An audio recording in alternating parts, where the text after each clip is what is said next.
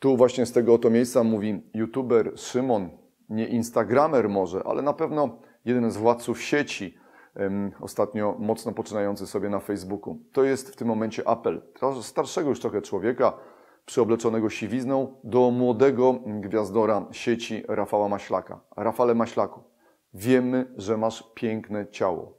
Właściwie całujemy i podziwiamy każdy centymetr Twojego umięśnionego ciała. Bardzo nam się podobają Twoje pachy, Twoje bicepsy, Twój cudowny różowy pępuszek. Bardzo podoba nam się Twoje podbrzusze, a także nadbrzusze.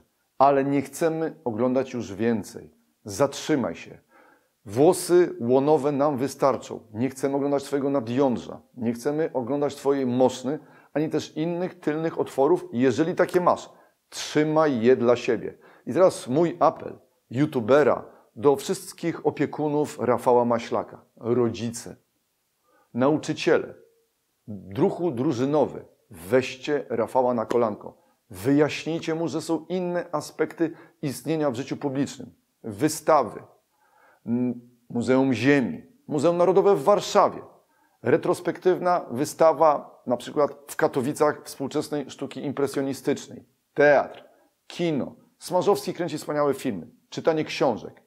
Jakże to daleko ustawia Ciebie od najądrza i mosny.